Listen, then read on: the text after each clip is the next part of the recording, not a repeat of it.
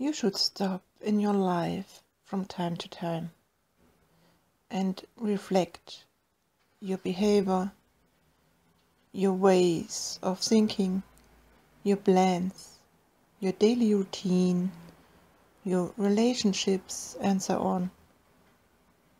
And this playlist is meant to help us. May it be a blessing for many. Amin Ya Rabbil Alameen.